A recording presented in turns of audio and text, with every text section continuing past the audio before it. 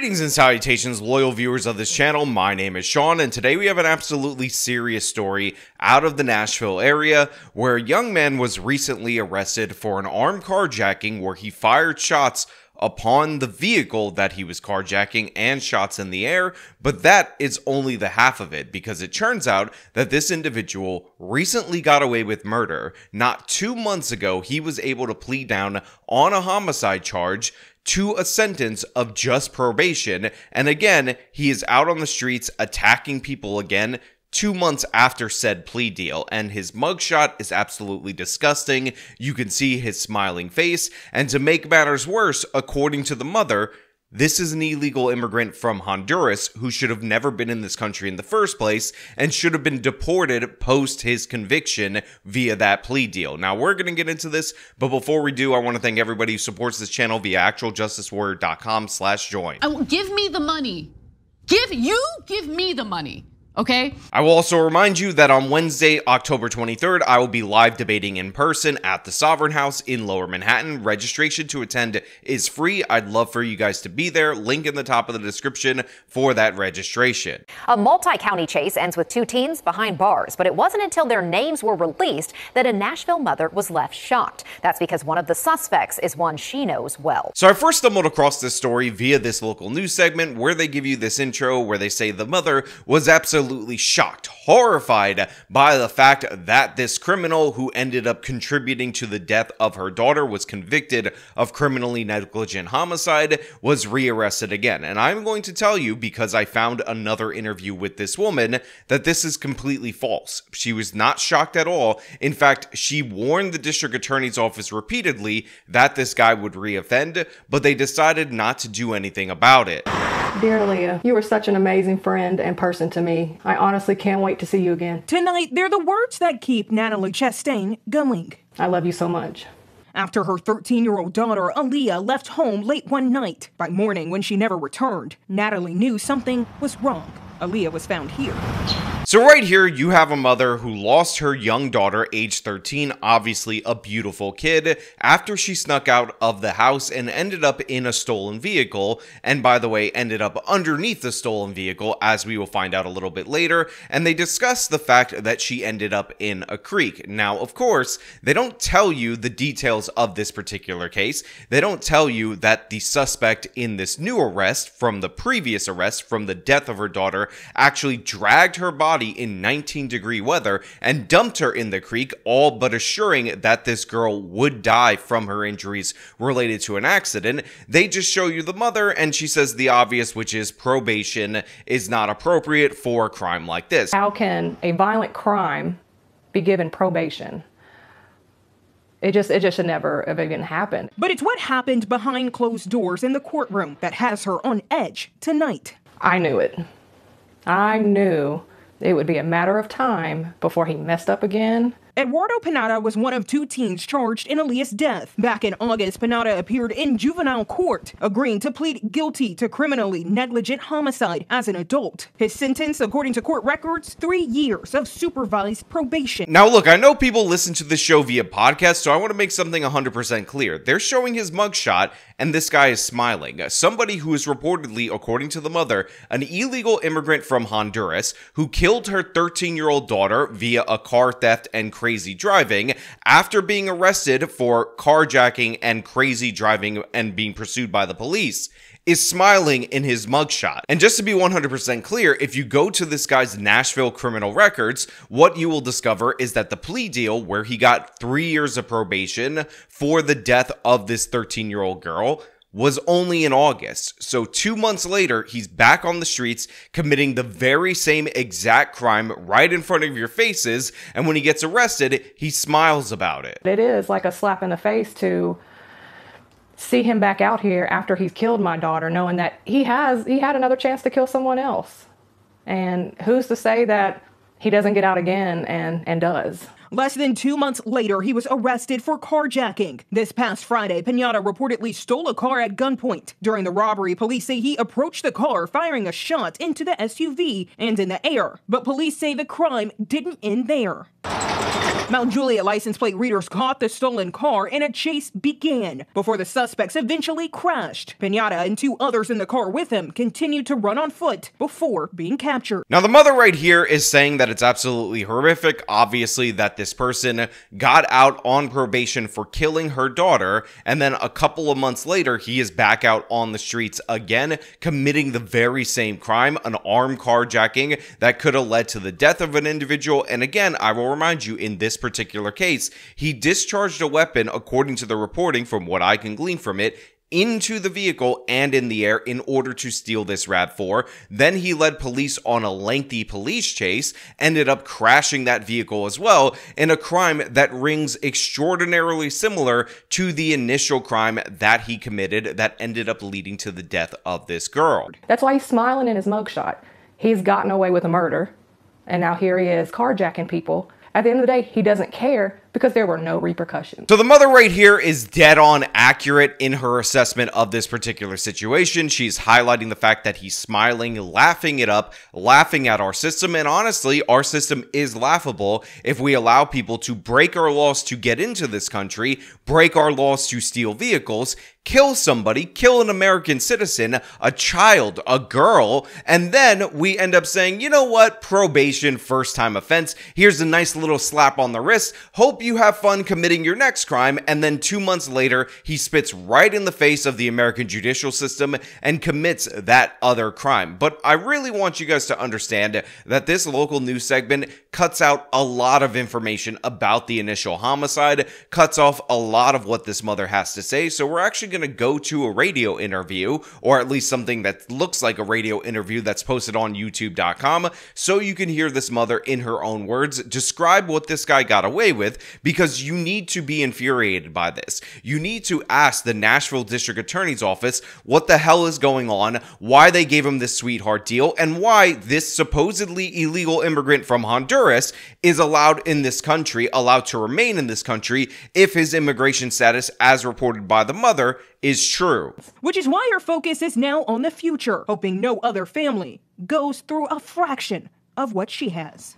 Pray that another person doesn't die from from a decision to let him out. So again, in this local news segment, they paint the mom as the grieving mother who just doesn't want this to happen to anyone else, but I need to make something 100% clear to everybody out there in the audience. I've listened to the lengthier interview that this woman has given, and she's not just a grieving mother who doesn't want this to happen to anyone else. She's a grieving mother who demands justice for her daughter. She demands consequences for the actions, and as a side benefit of that, that should allow this to not happen to somebody else, not only in this country, but with this particular individual. She's worried that this guy is going to get another slap on the wrist because not only is that what he got in this particular case, but she's essentially been blackballed by the district attorney's office in terms of information about what happened to her daughter. So we're going to go over this radio interview. I want you to listen to what she knows. I want you to listen to how horrible this Eduardo Pineda actually is because there's every reason to believe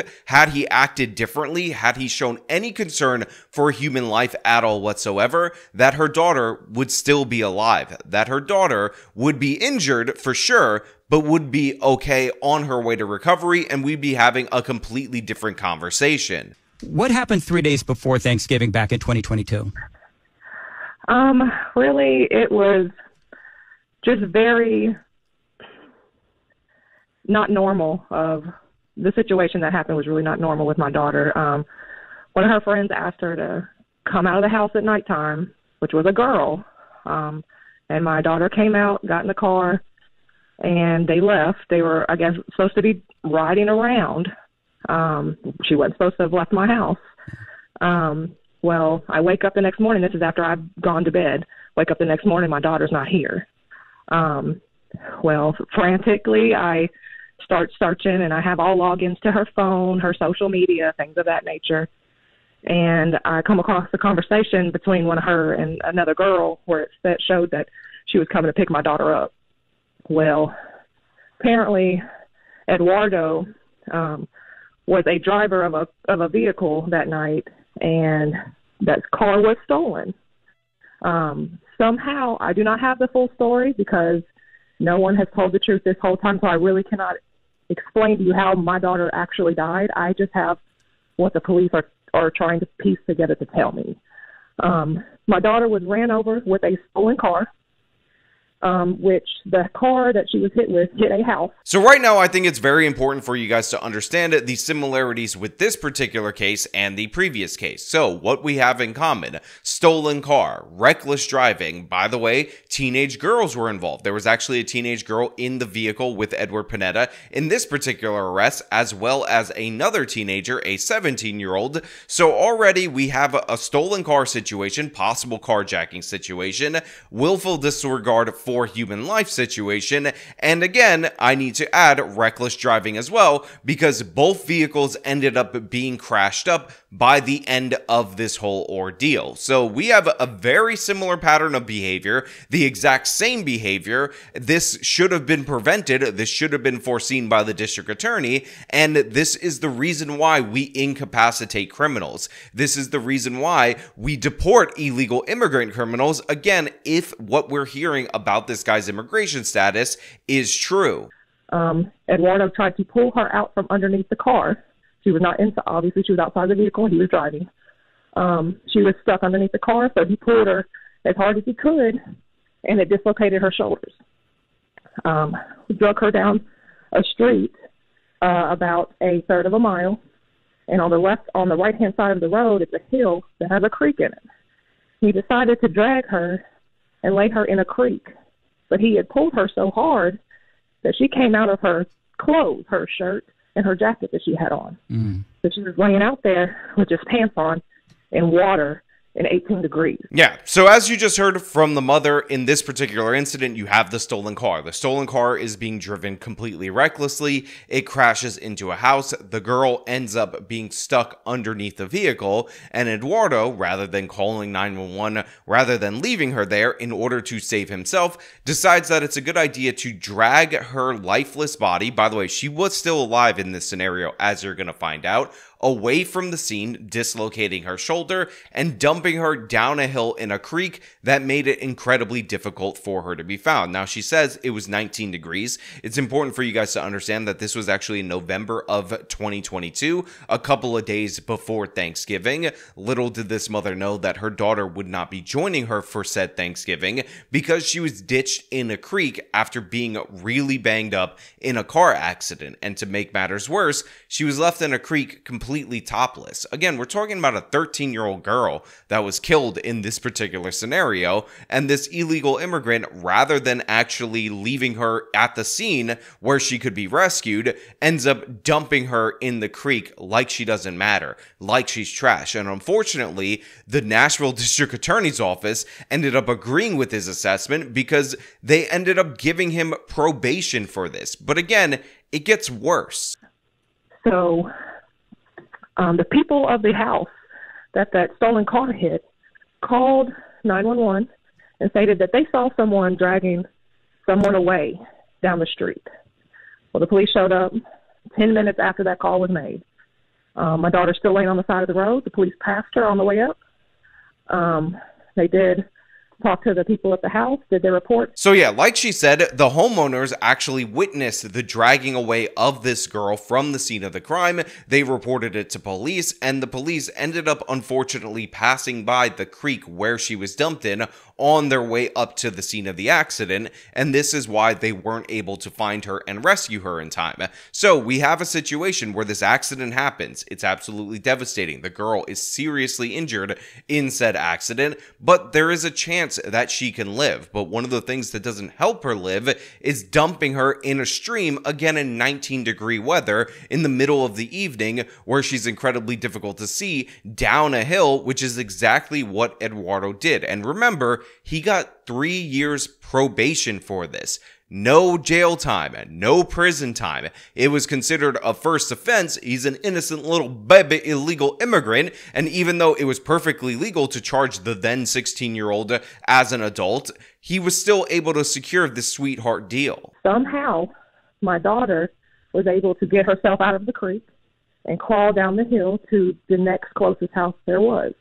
So she knocked on the door and lay down on the porch after realizing that nobody was going to answer the door for her. Mm. Um, she lay down and ultimately died.